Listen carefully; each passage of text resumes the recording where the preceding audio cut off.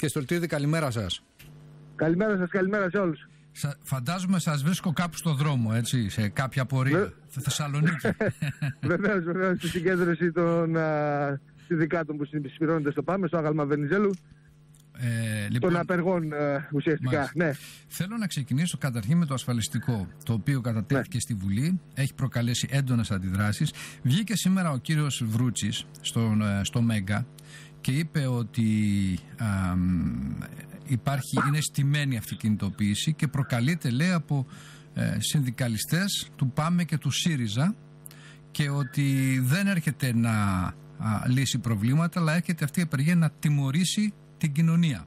Για να δούμε λοιπόν γιατί η κυβέρνηση αντιδρά με αυτόν τον τρόπο και γιατί εσείς αντιδράτε αφού σύμφωνα με τα όσα ε, λέει η κυβέρνηση α, ο νόμος αυτός ο ασφαλιστικός φέρνει και αύξηση στις συντάξεις και αύξηση στα επικουρικά και μείωση ασφαλιστικών εισφορών. Κοιτάξτε, καταρχήν δεν μπορώ να μιλήσω για το ΣΥΡΙΖΑ βεβαίως. έτσι. Ε, προφανώς. Γιατί ναι, έχει μια σημασία βέβαια η στάση τους γιατί ούτως ή άλλως είναι, ήταν η κυβέρνηση η οποία θέσπισε τον νόμο Κατρούγκαλου, ο οποίος ε, αν θέλετε σε επίπεδο τίτλων ε, πρέπει να πούμε ότι έδωσε χαριστική βολή στα θεμέλια της κοινωνικής ασφάλισης διαιρώντας ε, την ε, σε κύρια επικουρική και βέβαια τον τρίτο πυλώνα τον ιδιωτικό τομέα ε, εξασφάλισε την ε, όριο ηλικίας συνταξιοδότησης στα 67 με 40 χρόνια εργασίας έκοψε το ΕΚΑ στη 13η, 14η σύνταξη τις μειώσεις, τις φοβερές μειώσεις με βάση τα ποσοστά αναπλήρωσης επικουρικές και κύρια σύνταξη. Ο, ο νόμος Βρούτσι είναι προσανατολιστική η προπαγάνδα της κυβέρνησης βεβαίως. Ο νόμος Βρούτσι έρχεται αυτά να τα κάνει τετελεσμένα πλέον και με βάση το μηδέν να πακετάρει στην κυριολεξία τα κομμάτια που ε, μετά το χτύπημα του νόμου Κατρούγκαλου, την κυρία σύνταξη στην επικουρική, να τα οδηγήσει πακεταρισμένα στις τσέπες μερικών επιχειρηματικών ομιλών. Γιατί, γιατί, γιατί, προ... γιατί, είναι, γιατί, προ... ναι, γιατί αυτό το λέτε, γιατί το λέτε αυτό κύριε Στολτίδη; Γιατί κοιτάξτε, καταρχήν ε, και ο υπεροπολογισμό, ο τελευταίος ο κρατικός υπεροπολογισμός έδειξε το προσανατολισμό. 200 εκατομμύρια λιγότερα στη συνταξιοδοτική δαπάνη. Τι προβλέπει αυτός ο νόμος Βρούτσι και θεμελιώνει τον νόμο Κατρούγκαλο, όπως είπαμε, ότι στην κύρια σύνταξη από εδώ και πέρα και προσέξτε έχει πολύ μεγάλη σημασία για όσους καταφέρουν να έχουν πλήρη ασφαλιστικά χρόνια να φτάσουν σε, στην κύρια σύνταξη τουλάχιστον ε, στο επίπεδο των 384 το οποίο θα είναι το κρατικό εγγυημένο και το, όλο το υπόλοιπο θα υπόκειται το 384 είναι στα 20 χρόνια, έτσι. Και μετά είναι ναι, ναι, αποδοτικό, ναι. μάλιστα. Βεβαίως, Όμως, Για πείτε και το υπόλοιπο έχει σημασία ότι θα υπόκειται στην προκρούστη εκκλίνη του δημοσιονομικού το, χώρου. Στο, ο οποίος, στο υπόλοιπο, γιατί ναι. κάνετε κριτική, διότι λέει η κυβέρνηση. Έτσι, στο ανταποδοτικό κομμάτι, λοιπόν, εγώ ε, διορθώνω τις, τα λάθη του νόμου Κατρούγκαλου και όσοι έχουν από 30 χρόνια συνεχούς ε, εργασίας και πάνω θα δουν να αυξάνονται πάρα πολύ οι συντελεστές αναπλήρωσης. Εσείς γιατί του κάνετε κριτική σε αυτό; Μα κοιτάξτε τώρα, δεν είναι. Δεν, δεν είναι έτσι. Γιατί ένα, ένα ας πούμε και θα το αφήσουμε στην άκρη προς το παρόν αλλά είναι πολύ μεγάλη σημασία στο ποιος θα φτάνει από εδώ για την γενιά που διανύει ουσιαστικά τον εργασιακό της βίου κάτω από τρομερές συνθήκες εργασίας, ανασφάλιστη εργασία, εκπεριτροπής, όλες τις ελαστικές μορφές σε πολύ μεγάλο ποσοστό που έχει περάσει το μισό του ενεργού ε, εργατικού δυναμικού. Έτσι και θα υπόκειται γιατί η προσωπική διαφορά είναι, δεν είναι ε, παγιωμένο ποσοστό στη σύνταξη. Επιπλέον όμως θα υπόκειται, ξαναλέω, στο δημοσιο, στα πλαίσια του δημοσιονομικού χώρου, ο οποίος κάθε φορά προσδιορίζει την ανάγκη για περικοπές ε, και έχει φανεί αυτό όλο τα, την προηγούμενη δεκαετία με τις 17 μειώσεις των προηγούμενων κυβερνήσεων και τις τρει-τέσσερι μειώσεις που έκανε η κυβέρνηση ΣΥΡΙΖΑ. Ναι, ε, Στην επικουρική ασφάλιση. Ναι. Έρχεται η κυβέρνηση όμως σήμερα και λέει ότι εγώ κύριε διορθώνω όλα τα λάθη του νόμου Κατρούγκαλου και σας φέρνω αυξήσεις ένα εκατομμύριο συνταξιούχους, αυξήσεις επικουρικές, μείωση των εισφορών σας. Εδώ Μα ναι, τι απαντάτε εδώ, σε αυτό; ξαναλέω, ξαναλέω ότι στην, ε, καταρχήν από τους 2.500, 2,5 ε, εκατομμύρια συνταξιούχους οι αυξήσεις αφορούν τους 500.000, είναι μικρές και είναι ρευστές. Θα αμφισβητηθούν το επόμενο διάστημα. Ξα... Όμως βλέπετε ότι στο δεύτερο πυλώνα όπου έχουν γίνει επαγγελματικά ταμεία είχαν τον, ε, κινήθηκαν στον δρόμο της απώλειας μεγάλων ποσοστών και στην επικουρική σύνταξη και στο ΕΦΑΠΑΞ και σε όλα αυτά που προβλέπονταν ας πούμε σε κάθε κλάδο βεβαίως ε, ως δικαιώματα και παροχές ε, στους εργαζόμενους και τους συνταξιούχους ουσιαστικά μπαίνει στις τρεις αυτές βαθμίδες που λένε της, ε, του χρηματιστηριακού τζόγου, χαμηλού, μεσαίου και μεγάλου ρίσκου και αυτό προσδιορίζει ότι τουλάχιστον στο δεύτερο πυλώνα τίποτα πλέον δεν θα είναι εγγυημένο. Και βέβαια, αν βάλετε το άθροισμα... Εννοείται το ανταποδοτικό κομμάτι, έτσι. Ναι, ναι. Ε, αυτό το, αν, πώς δεν θα είναι εγγυημένο, συγγνώμη, για εξήγησα, δεν το καταλαβαίνω. Μα ε, δεν υπάρχει. Στην επικουρική ασφάλιση, το ασφαλιστικό νομοσχέδιο προβλέπει ότι δεν θα υπάρχει εγγυημένη απόδοση της της, ε, του, του κλάδου της επικουρικής ασφάλισης. Θα υπόκειται και θα είναι επιλογή του εργαζόμενου ε, σε, ποιο, σε ποια βαθμίδα χρηματιστηριακού τζόγου θα τα επενδύει, γιατί τώρα μιλάμε για επενδυτές. Αλλά το κύριο, κοιτάξτε τώρα, είναι ότι αυτό το σύστημα είναι κατάκτηση εδώ και 70 χρόνια. Και τέλος πάντων ε, προσπάθησαν οι εργαζόμενοι και οι συνταξιούχοι να το υπερασπιστούν όλες τις προηγούμενες δεκαετίες με τους αγώνες τους. Ήταν βασισμένο στη διαγενειακή αλληλεγγύη, ήταν μια κατάκτηση για την εργατική τάξη να προστατεύει όλα τα αδύναμα μέλη αυτής της κοινωνίας, είτε τους ΑΜΕΑ, είτε αυτούς που έχουν ανάγκη από προνοιακά επιδόματα, τους ανέργους, όλους αυτούς δηλαδή ουσιαστικά που είναι θύματα του δρόμου αυτού της καπιταλιστικής ανάπτυξης. Αυτό είναι που σπάει, γίνεται ανταποδοτικό, περνάει σε ατομικό επίπεδο χωρίς εγγυημένα κατώτατα, με όρια ηλικίας συνταξιοδότησης τα οποία λίγοι που θα τα φτάνουν και αυτοί ακόμα που θα τα φτάνουν θα, έχουν, θα, είναι, θα είναι ζήτημα τελικά με τι ακριβώς επίπεδα δηλαδή, παροχών εισφορών. Φτάνοντας ένας, μιλάμε πάντα για τον ιδιωτικό τομέα, στα 67 του χρόνια, δεν θα έχει πάνω από 30 χρόνια συνεχόμενους εργασίες. Έχει... Για πολύ μεγάλο ποσοστό. Και από ό,τι φαίνεται με βάση τα, τις ε, συνθήκες που προδιαγράφονται για τον, ε, τον, τον καπιταλιστικό δρόμο αυτό που λέμε ανάπτυξης, ότι ουσιαστικά και με τους τελευταίους νόμους κατάργησης των συλλογικών συμβάσεων, αν θέλετε, στο αναπτυξιακό πολυνομοσχέδιο, ε, διεύρυνσης των ελαστικών μορφών εργασίας, θα γενικευθεί και θα αφορά τη συντηρητική πλειοψηφία του λαού. Θα σας πει κάποιος, γιατί φωνάζετε ε, αφού αυτά τα είπε ο κ. Μητσοτάκης και ο ελληνικός λαός του έδωσε 40%. Είναι το 40% του 58% του εκλογικού σώματος που σημαίνει 23%. δεν έχει σημασία. Δεν έχει σημασία. αυτό είναι το. Βεβαίως. Αλλά μην το ξεχνάμε. Και ναι, αυτό είναι το 23% του ελληνικού λαού. Και βέβαια, προσέξτε, δεν έβαλε ο κύριος Μητσοτάκης και η κυβέρνησή του προφανώς τώρα γιατί δεν είναι θέμα ατομικό. Ναι, ναι, δεν έβαλε. Δεν, δεν πήγε προεκλογικά στη λογική και προπαγανδίζοντα ότι θα διαλύσει την κοινωνική ασφάλιση, θα καταργήσει τις συλλογικές συμβάσεις εργασίας. Είπε, θα τα αλλάξω αυτό. Άλλο θα τα αλλάξω και άλλο θα το διαλύσω. τα είχε πει και γιατί αυτό προβλέπει, και αυτό προβλέπει, με συγχωρείτε, προβλέπει ότι από εδώ και στο εξής αυτή η κάλυψη και κουτσουρεμένη όσο μπόρεσε να διατηρηθεί για τον καθένα και για την οικογένειά του θα αφισβητείται, δεν θα υπάρχει. Μια μέρα ανεργίας κινδυνεύει η ίδια η ζωή του, του ίδιου του ανέργου και του ολόκληρης της οικογένειας και που δεν ανακαλύψει. Προσέξτε όμως ένα τελευταίο, ένα τελευταίο. Έχει σημασία γιατί όταν φτάνεις να δίνεις ένα άθροισμα στον πρώτο και στο δεύτερο πυλώνα τέτοιο που να μην εξασφαλίζει τα στοιχειώδη για την επιβίωση, για αυτόν που θα φτάσει, ξαναλέω, είναι αυτό που βάζει τους πιο άγριους και εκβιαστικούς όρους στον τρίτο πυλώνα της ιδιωτικής ασφάλισης, που θα κατευθύνει το καθένας προκειμένου να σώσει και τον ίδιο και την οικογένεια. Ο ιδιωτικής ούτως ή άλλως υπάρχει σήμερα και λειτουργεί παράλληλα. Ναι, ναι, ναι. Παρόλα αυτά, παρόλα αυτά βλέπετε ότι κινείται. Σωστό. Σωστό όμως πρέπει να, πρέπει να πούμε ότι είναι άλλο να έχεις το δημόσιο πυλώνα που να δίνει τουλάχιστον τα στοιχειώδη και άλλο να μην υπάρχει και κάθε χρόνο να υποχωρεί σημαντικά σε σχέση με τα, ακόμα και με την παροχή των ε, στοιχειωδών για την ιατροφαρμακευτική περίθαλψη και την πρόσβαση στο σύστημα υγείας. Αντιλαμβάνεστε ότι αν δεν έχετε άλλη επιλογή, ε, οι επιχειρηματικοί όμιλοι στην ιδιωτική υγεία θα βάλουν άγνωστο. Να, να, να, συνεχίσω μετά, να, γιατί έχουμε αρκετά ζητήματα. Να πω λίγο ναι, ναι. στο, γιατί το ασφαλιστικό έχει το θέμα των εισφορών. Έχει ανοίξει μια μεγάλη συζήτηση.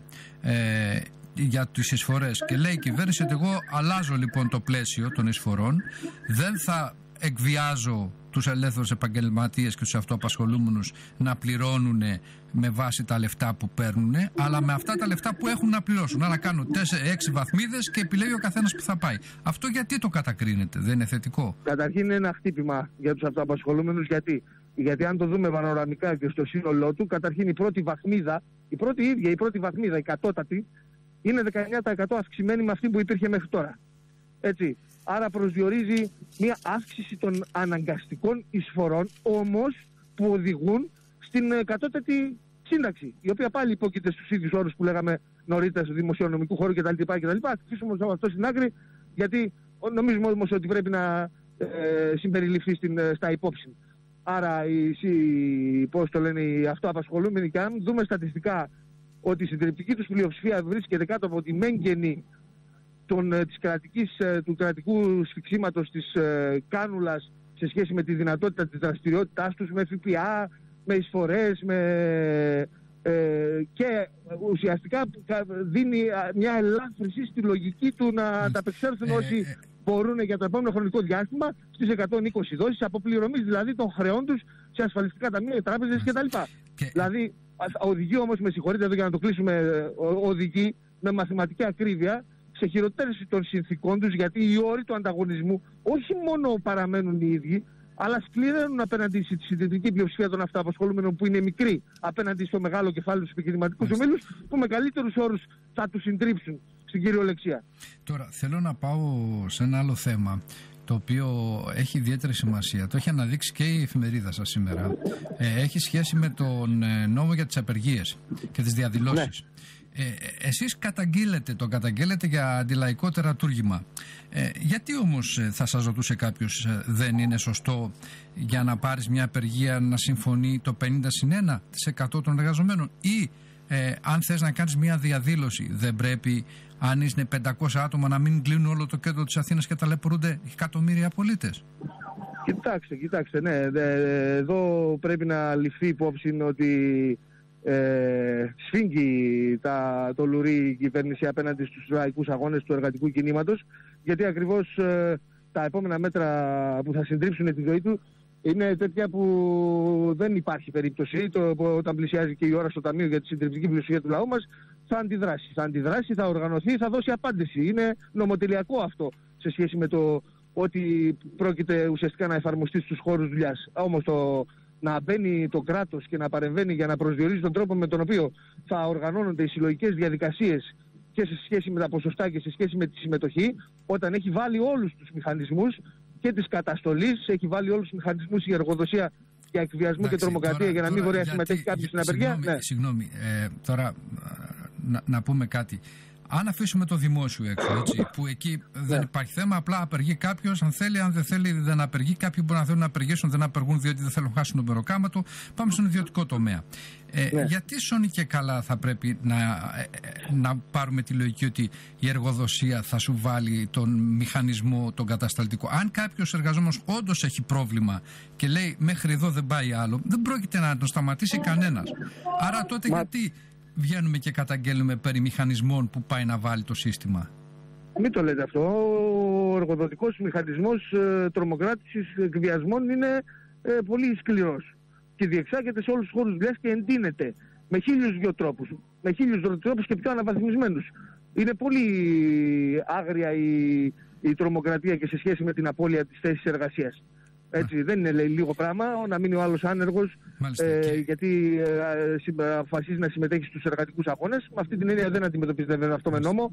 Προφανώς εδώ ναι. εμείς και σε αυτή την προσπάθεια καταθέτουμε τις δυνάμεις μας να οργανωθεί οι, οι εργαζόμενοι να εργαστούν κατά χώρο, κατά κλάδο, τους, ώστε να αντιμετωπίσουν την εργοδοτική τέτοια. Αλλά όσον αφορά την κυβέρνηση, προφανώς και θέλει να δημιουργήσει όλο και περισσότερα αναχώματα σε επίπεδο νόμων και τη συμμετοχή. Ναι. Ωραία. Ε, με, έχω ένα μήνυμα φιλοκρατή, ο κ. Σταύρος από την Νίκαια. Βάζει ένα άλλο θέμα, το οποίο ήθελα να το ρωτήσω κι εγώ, αλλά δυστυχώς ο χρόνος έχει μείνει, έχουν μείνει τρία λεπτά ακόμη.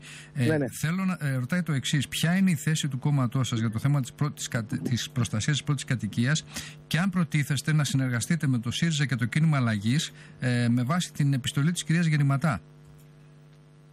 Κοιτάξτε, δεν είναι θέμα συνεργασίας και διαχείρισης ε, πάλι των όρων ε, του καπιταλιστικού συστήματος και, την, ε, και της ανάγκης των ε, τραπεζών να τροφοδοτηθούν με χρήματα για να διευκολύνουν τις επιχειρηματικές δραστηριότητες και τις επενδύσεις.